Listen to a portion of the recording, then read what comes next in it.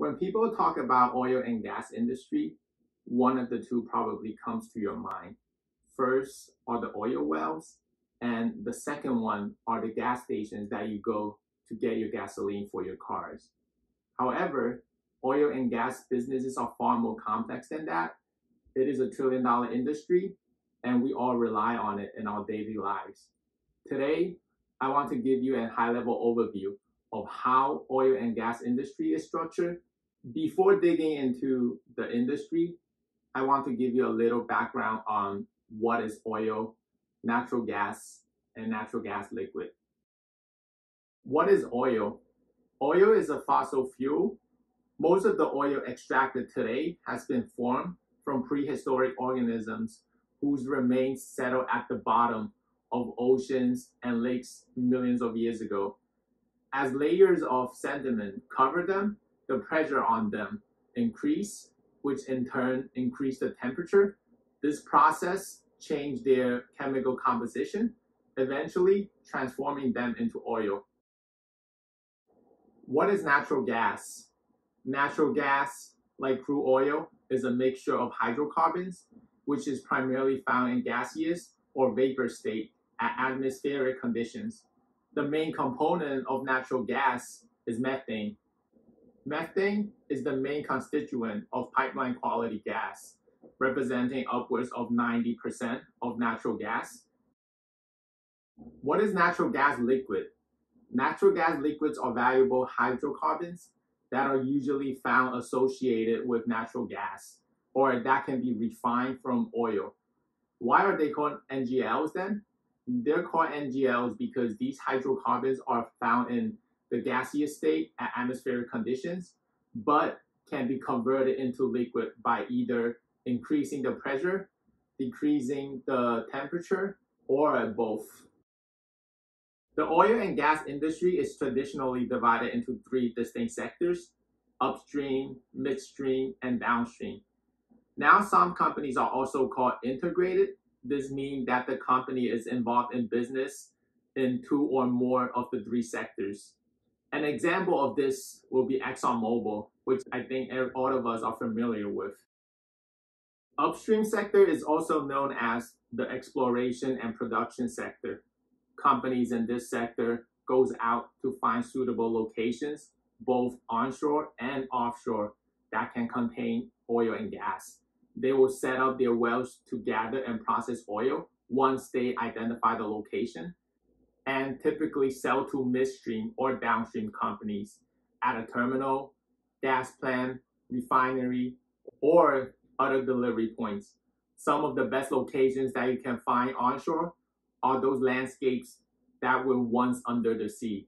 They typically contain a huge amount of oil and gas. For example, the Permian Basin that crosses northwestern Texas all the way to southeastern New Mexico is one of the best locations that we have in the States. And it was once under the sea. A popular offshore location around the States is Gulf of Mexico. However, offshore exploration causes a lot more compared to the onshore ones because everything just causes a lot more if you want to do all these process in the sea. Profit margin is higher in this sector compared to midstream and downstream, but at the same time, the risks are also higher.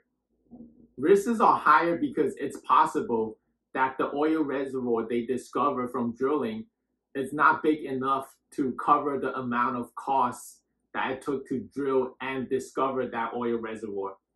Also, this is the most politic impact sector out of the three globally politics can get very complicated.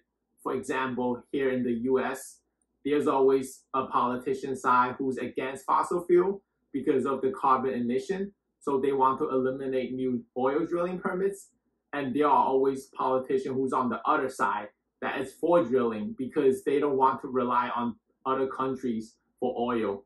So it really depends on which side of the party is in office here in the US the policies that they put in place can highly impact the amount of supplies that each oil company can produce.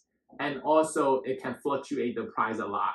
Because as you may know, like if the demand is higher, if the supply is lower, then in this case the oil can the oil prices will be higher.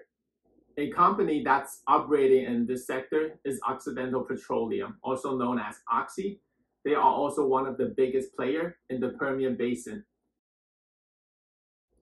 Midstream sector is involved in processing, storage, and transporting oil and natural gas.